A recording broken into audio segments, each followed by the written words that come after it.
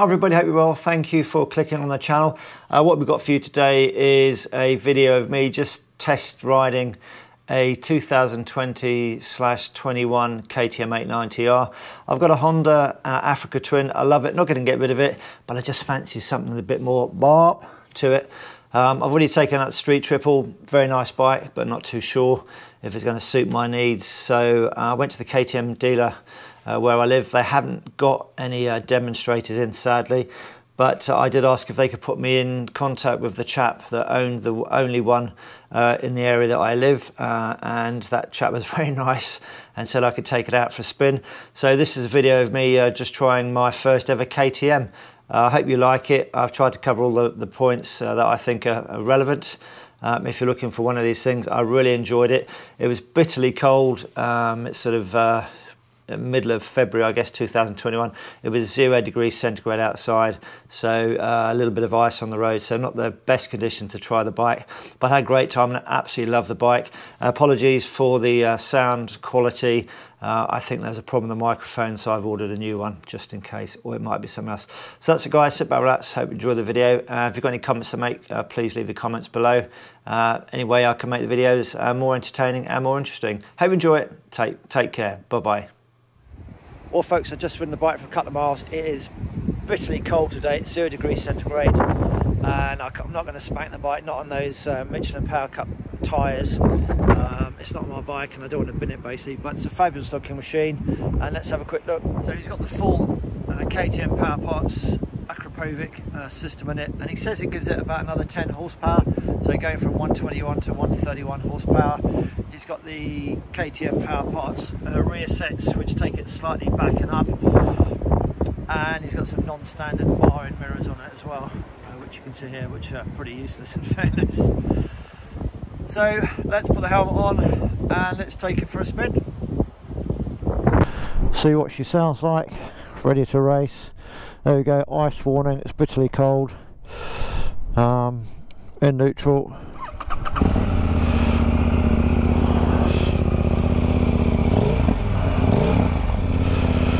But it sounds quite fruity.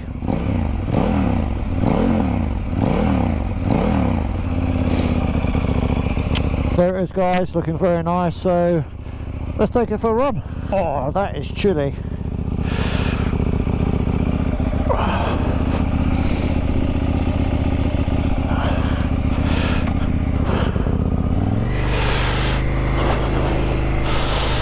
So what can I say about this bike then?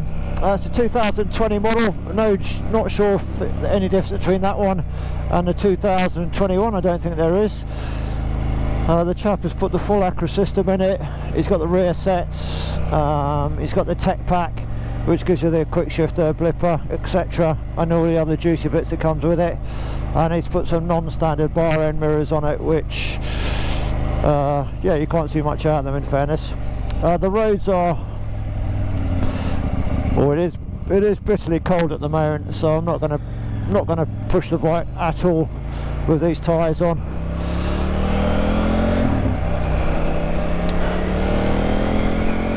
So I've ridden the Street Triple 765 RS. I've taken that out a couple of times now, and straight off the bat, this for my five foot nine trial stone frame feels uh, more at home actually. Uh, prefer this riding position and although he's got the rear sets on it I wouldn't say it's uncomfortable. I've had a Fireblade GSXR K2 Suzuki and yeah straight off it seems pretty pretty uncomfortable pretty uncomfortable pretty comfortable it's the cold getting to me guys uh, so initial thoughts are not bad at all. Not bad at all and I prefer it to the Triumph 765 I say it is very cold and I don't want to come off on the old uh, black ice so I am not going to spank this thing at all. Uh, handlebars feel really comfortable. Uh, he's got the uh, non-standard ones on. I don't know if they're the same angle and sweep up whatever you called it than the standard ones but yeah it's not uh, it's not uncomfortable at all some of the YouTube videos say you're like right over the front wheel but I've got to say I can't feel like I'm doing that at all. Uh, the seat feels pretty comfortable in fairness. I think it's the standard seat. Uh, it's not soft and plush but sometimes a firmer seat I guess can be better than a soft plush seat which over a number of hours in the saddle may become uh, too soft and your bum becomes a bit sore.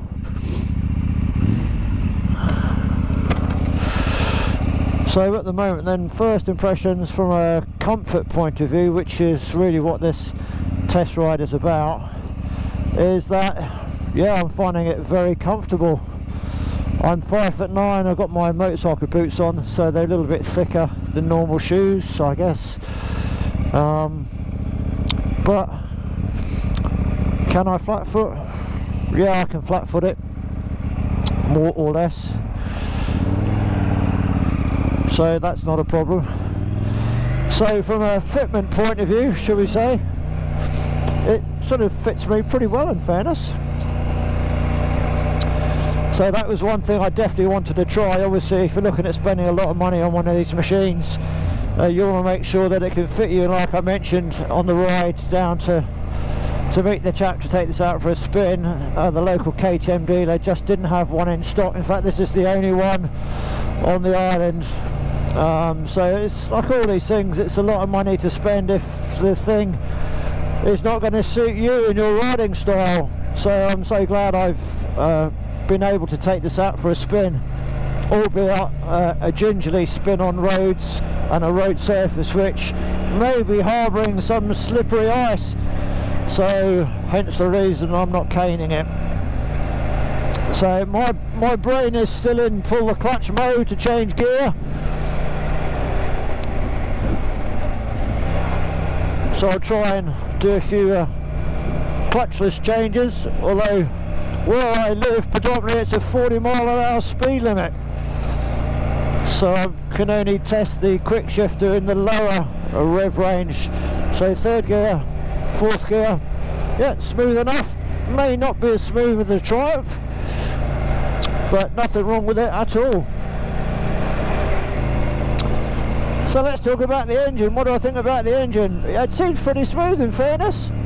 Uh, may not be as smooth as the Triumph, I keep banging on about the Triumph, uh, but this is a twin cylinder, the Triumph's a triple, so I guess it would be a little bit smoother, but this seems to have quite a lot of character low down, and I actually, for where I live, uh, the main reason I'm on this machine is I've got the Africa Twin, I love the low down torque, and I really 95% of the time I'm going to be riding on the island with a few little trips away to mainland Europe or the UK. So I need a bike that's going to be uh, fit for purposes, uh, as we all seem to be saying.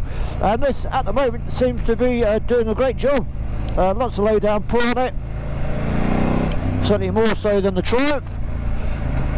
Uh, I guess it's horses for courses if you're in the UK uh, or elsewhere and you're doing long trips then maybe the Triumph might be the bike. But yeah, quite like this.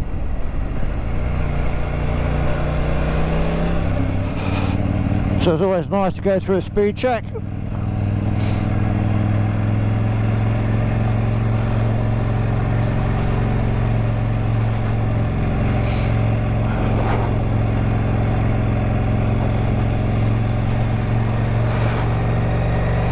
Boys in blue. So I don't need any I don't want a bike that I have to stir and you know rev, rev the knackers out of it to to get some enjoyment. Um, so I want something most of the most of the time I can just potter around in the low revs with plenty of low down torque. And at the moment this certainly seems to be fitting the bill. And why is it wherever I go a lorry wants to go the same way? It's ridiculous But yeah, the engine feels really nice.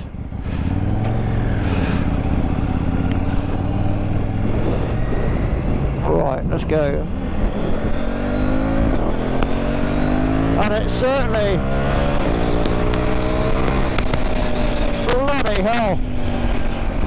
OMG as they say, that is amazingly quick. So let's just give it a wind on third gear.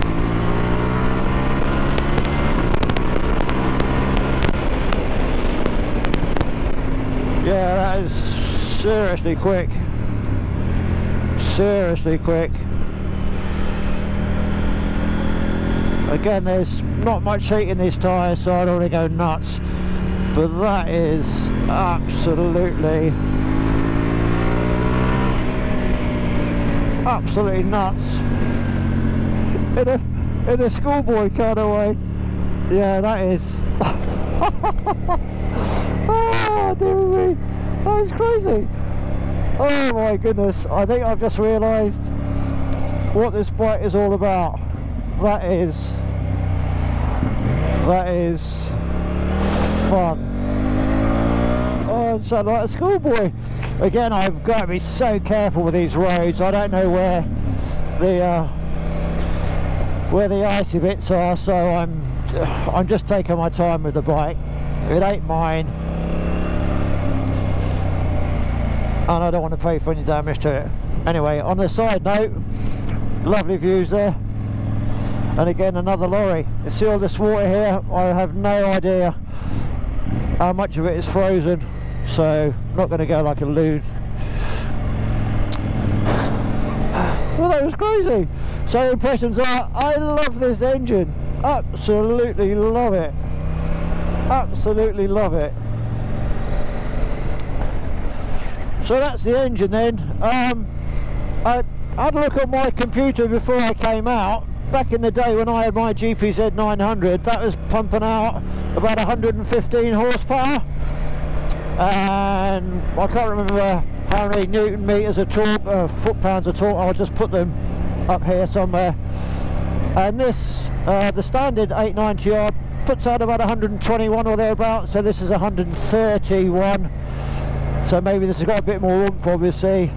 So that's the 890 produces more power and certainly more torque again the figures up here than my first big big bike uh, back in 85 when I had the GPZ 900R uh, sensible Paul what else is there? So that engine is is great even from low down. There we go that third gear 20 miles an hour. Picks up fine so what about the suspension? Uh, yeah, really good. Um, comfortable. Uh, obviously it's sport suspension, uh, but fine. And like to say, if this is a standard seat, uh, which I'll put something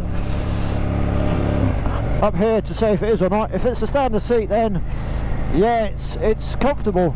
Um, some people have said it's uh, like riding a plank of wood, but no, I find it comfortable and not a problem.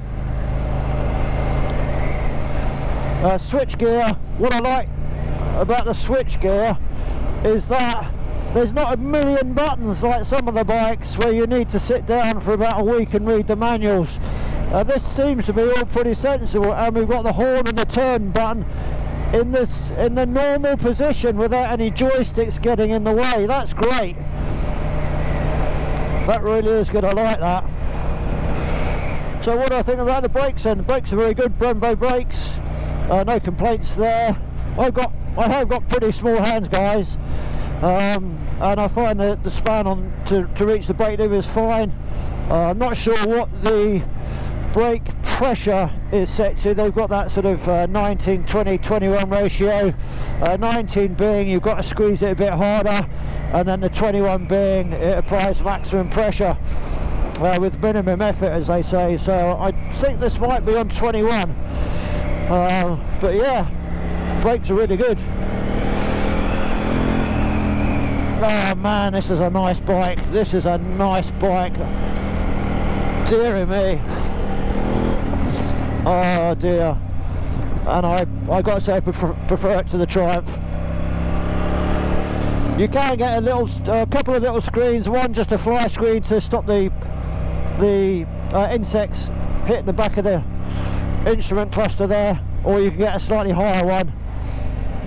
And, and it's a, a proper windscreen so I think if I get one I go for the proper uh, windscreen just to have a bit of protection if I wanted to do a little bit of touring on it. And I've got to say that I think you could uh, go away and do some some mileage on this with not too much problem. As I say I'm 5 foot 9 12 stone average average build um, yeah, and I've got my I've got a, a Kriega R20 rucksack on at the moment, um, which I can't feel.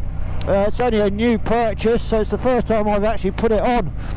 And yeah, I'd be more than happy with the rucksack, a couple of pairs of underpants, uh, maybe a tank bag. You can get various tank bags for these.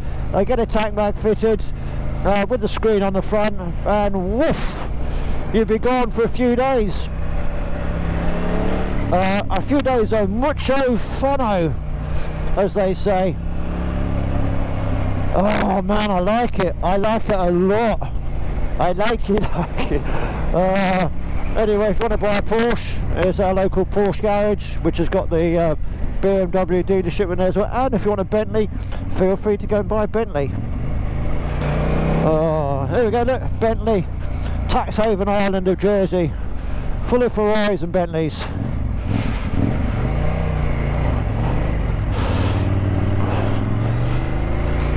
Think the only thing I haven't really spoken about is the handling. Uh, what can we say about it? Uh, razor sharp, uh, super scalpel or whatever they call it. Very nice. Uh, not much effort needed through the bars.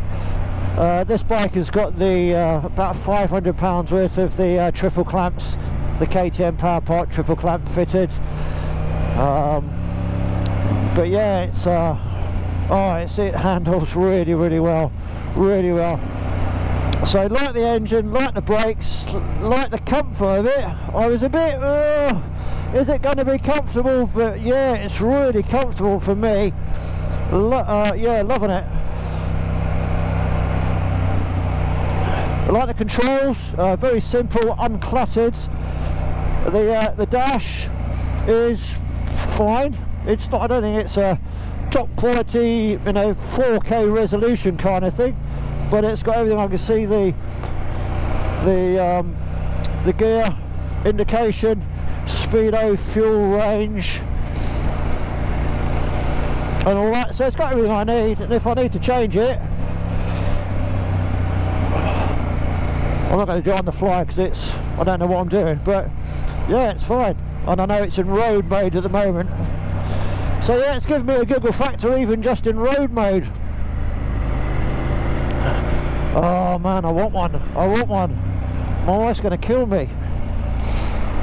Oh, rucksack, tank bag, and you're gone. So the other thing I, I really haven't spoken about is the fuel range. Um, I think this is about 3.4 gallons. So, yeah, it's saying got 70 miles left and I've got uh, half a tank. So I don't know what kind of range you're going to get out of it and I've got a Porsche behind me. Yeah tax tax haven Island of Jersey.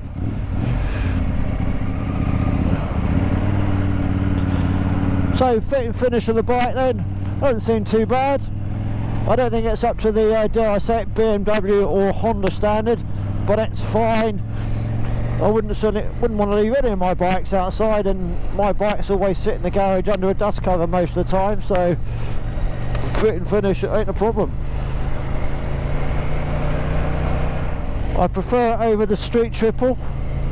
Um, and I'm going to say because where I live most of the time I'm going to be down at sort of three or four thousand revs and this is more than happy potting around at, at those those kind of uh, low RPMs so for me uh, this suits my needs on island and if I want to go away I can have a bit of fun away and it might lose out on the top end to the Triumph uh, but most of the time where I am here, whoa, where I am here on the island, this is going to more than, more, more than be adequate, be more than adequate for my needs as we come on to the only stretch of dual carriageway on the island. Also like about the bike, the fact it's got one of those old-fashioned things called a key that you put into a hole, turn it, and it fires electrics up. And it also has an old-fashioned key that you put into the fuel filler cap. So none of that uh, fancy keyless ignition, keyless fuel filler caps. So that's a, another big plus uh, for me as well. So that is the final word guys, I'm returning this bike uh, to its rightful owner, uh, all in one piece I'm uh, glad to say and I'm going to put a load of fuel in it for him as he's been very kind to let me uh, take it out on this demonstrator ride. But yeah, I really like it. I really like it a lot. Cheerio. Bye bye.